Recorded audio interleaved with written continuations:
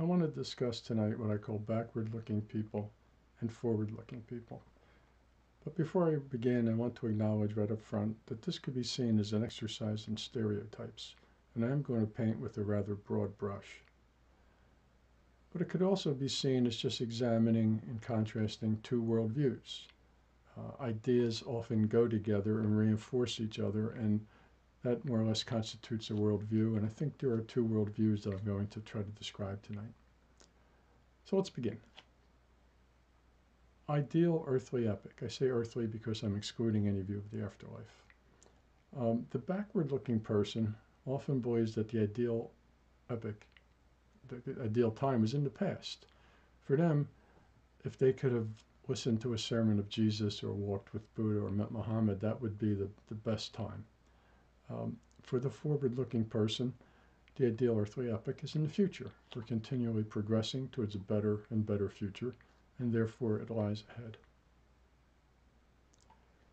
For the backward looking person, they often have a fantasy view of the past based on some unchangeable scripture, which is immune to addition or correction. They believe, for instance, in the Christian context, in the Garden of Eden and a worldwide flood and all languages originating in one place. The forward looking person has a view of the past which accepts the scientific view, which is currently the Big Bang Theory, but importantly, science updates its belief anytime good evidence is found, and they're willing to update their belief if that happens. They don't hold the belief as sacred the trajectory of the present. Well, if you believe in the Garden of Eden, then obviously we're in a fallen state. Uh, things are going downhill, or at least have gone downhill.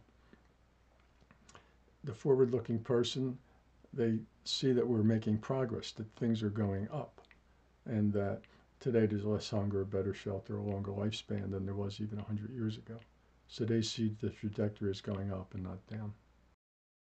As to Earth's future, a lot of uh, backward believers, again putting this in the Christian context, believe that Jesus is coming soon, even within their lifetime. And when he does, the good will go to heaven, the evil will go to hell, and the earth will be destroyed.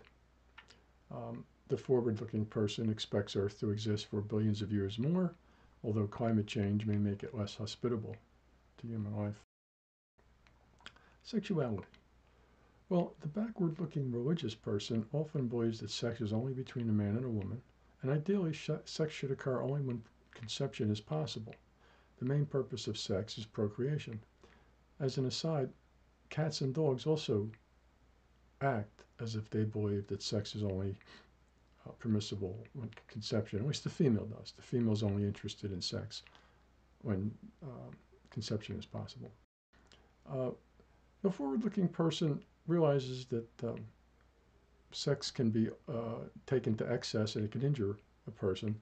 But within the bounds of a balanced, sane sexuality, sex is for the expression of love and intimacy, and procreation is its secondary purpose, especially in light of the earth being overpopulated and straining to uh, support the people it has now. As to punishment, well, people are either good or evil, and evil people should be punished. And conditions in prison aren't too concerning because they're a lot better than what those evil people are going to experience in hell. For forward looking people, they realize that people aren't good or evil, but they sometimes do good things and sometimes do evil things. And they believe, as far as possible, prisons should be places that salvage lives, not destroy them. Xenophobia. Well, if there are a lot of evil people in the world, and especially with an ethnic group you're not familiar with, it's hard to tell the good from the bad it's probably best to avoid and suspect people in different ethnic groups. Besides, they're probably inferior to us anyway, especially if we're saved and they're not. For forward looking people, the world contains a wealth of cultures, ideas, and fascinating people, just like it has a wealth of different foods. And we all have more in common than not. The economic spectrum. Well, just as God is way above the angels who are above us, some people are above other people, financially speaking. The world is filled with evil people who just want to freeload off the rest of us so they can watch TV and do drugs and sex all day. For the forward looking person, well, all people are worthy. Now, some people's creations or inventions improve our lives, and those people should be rewarded. It's a win win situation. They've improved our lives, we should reward them. But the economic floor should be high enough so that everyone has decent food, clothing, shelter, and medical services. That's just basic humanity. Expertise. Well, the backward looking person also often believes their peers, famous people, politicians, uh, movie stars, and internet memes, and they distrust experts in science. Forward looking people generally trust those whose background, education, and expertise seems to merit that trust, and they generally trust science. Politically, backward looking people generally believes things were better in the good old days when people knew their place.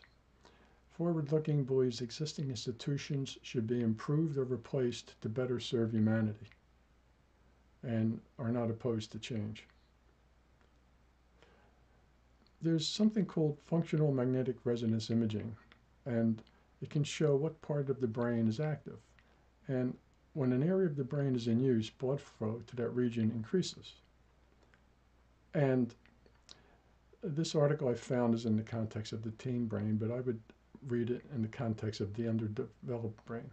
Now, it's normal for a teen who's still growing to have um, a highly developed amygdala, which is closer to the more primitive centers of the brain, as I understand it, and their prefrontal cortex, which is the rational part and which is in charge of good judgment, is not so developed yet. That often develops later after the teen years. It says here that teens are often ruled by feelings rather than thinking. And as, as I say, I don't mean to put teens down, it's the normal part of development.